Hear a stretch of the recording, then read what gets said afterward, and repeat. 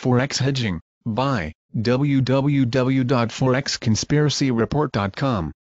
Forex hedging is the primary reason that many trade Forex.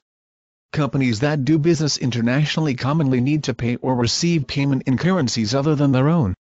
The problem for these companies is that in the time between agreement on a contract price for good or services and delivery there may be a substantial price change in a given currency pair.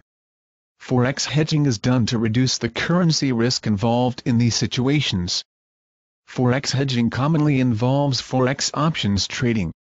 A possible scenario may go like the following example. A U.S. company wishes to buy German machine parts.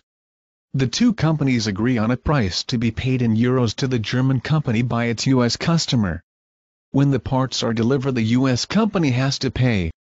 If the euro has risen in relation to the dollar the U.S. company will need to pay more dollars than expected for the machine parts.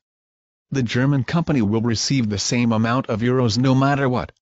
In forex hedging the U.S. company buys calls on the euro with dollars at the time that it signs the contract to buy machine parts it buys calls on enough euros to pay the contract price.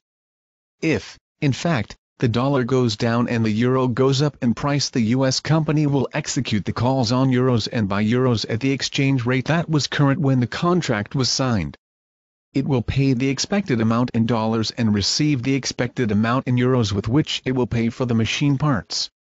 The cost of forex hedging in this manner is the cost of the options contracts involved. An alternative in forex hedging is to attempt to read the fundamentals and technical factors that drive a given currency pair such as the Euro-USD pair.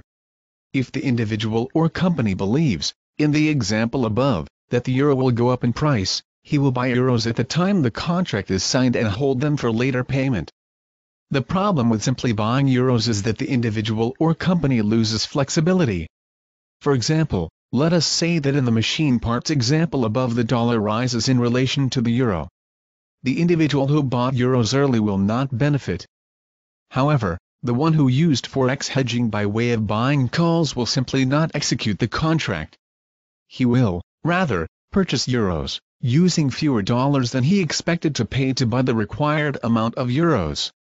He will receive his machine parts as a discount because he did not buy early, he also insured himself against currency risk by purchasing calls. Forex hedging is a major part of forex trading as it is integral to world trade for those dealing internationally to contain their currency risk while doing business in the four corners of the globe.